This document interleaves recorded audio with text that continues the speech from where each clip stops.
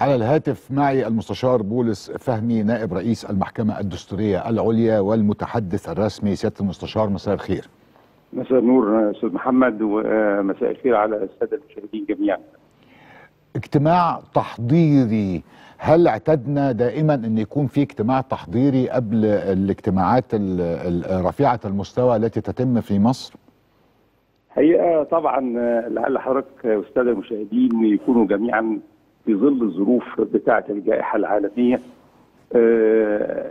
اضطررنا إلى عقد مثل هذا المؤتمر التحضيري على هذا المستوى الراقي اللي تفضل فيه فخامة رئيس الجمهورية برعايته السامية لهذا المؤتمر التحضيري قبل المؤتمر الفعلي. الواقع الجمعية العامة للمحكمة الدستورية العليا بتوجه كل الشكر لفخامة الرئيس على رعايته السامية لهذا المؤتمر سواء في صورته الافتراضية أو في صورته الفعليه إن شاء الله اللي هتتم في شهر يونيو بإذن الله بشرط زوال الجائحة بإذن الله أو التخفف من اثرها إن شاء الله. بإذن الله. طيب بعد إذن حضرتك النهارده ما الذي توصلتم إليه في الاجتماع التحضيري؟ هل تم إعداد أجندة للاجتماع القادم؟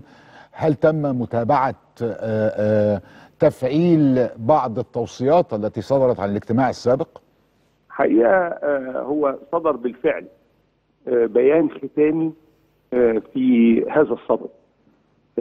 هذا البيان الختامي يعني كان محتواه ومؤداه هو الإصرار على التواصل مع كل المحاكم الإفريقية الدستورية والعليا وأيضا المجالس الدستورية هذا من ناحية.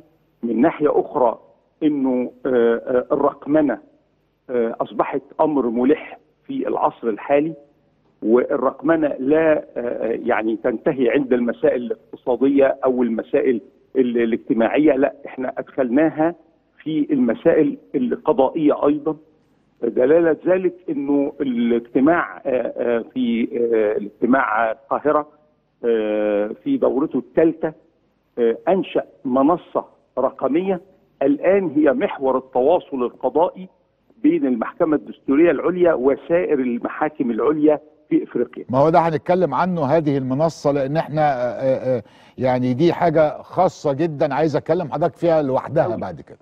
تمام آه. فالامر بتاع البيان الختامي كان واضح في إن إحنا مصرين على الاستمرارية وأيضا إن شاء الله مأسسة هذا الاجتماع بحيث إنه التواصل لا يكون فقط على مستوى ما بين محكمة وأخرى في صورة بروتوكول أو في صورة تعاون لا المحكمة الدستورية العليا آلت على نفسها إنها توطد علاقتها بكل المحاكم العليا الإفريقية وننقل تجربتنا الرائدة في مجال حماية الحقوق والحريات في كل المجالات.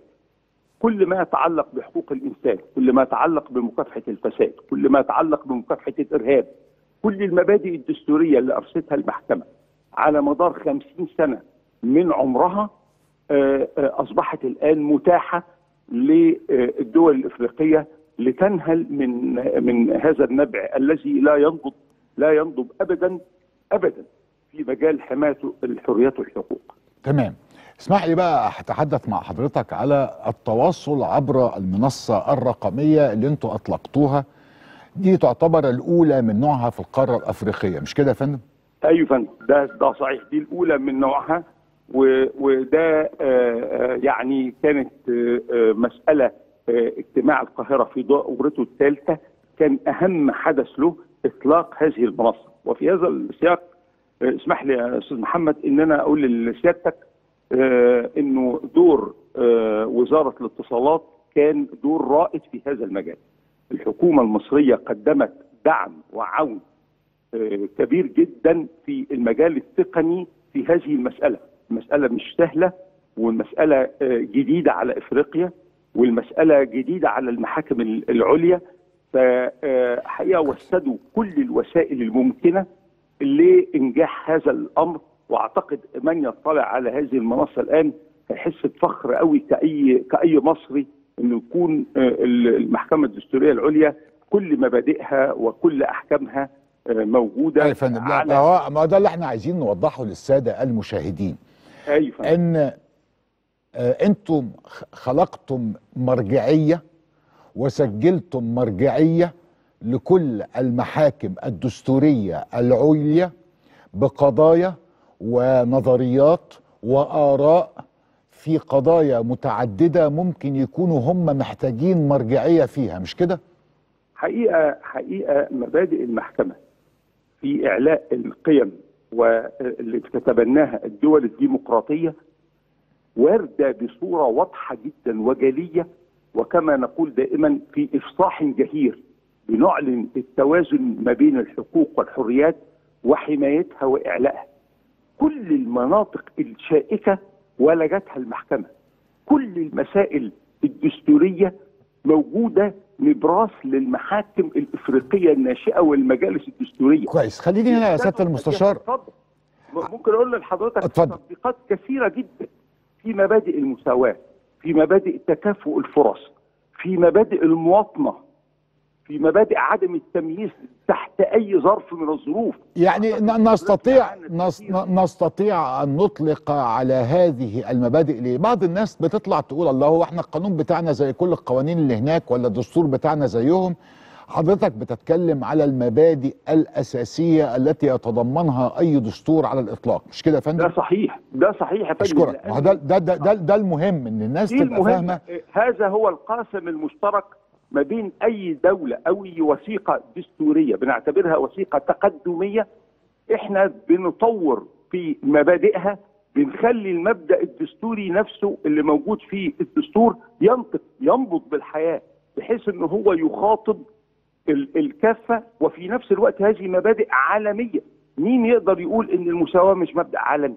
مين ما مين ما بيتكلمش عن المواطنة عن حقوق المقيمين على الأرض على الأراضي بتاعت الدول الإفريقية على حماية الحقوق والحريات بمختلف أنواعها.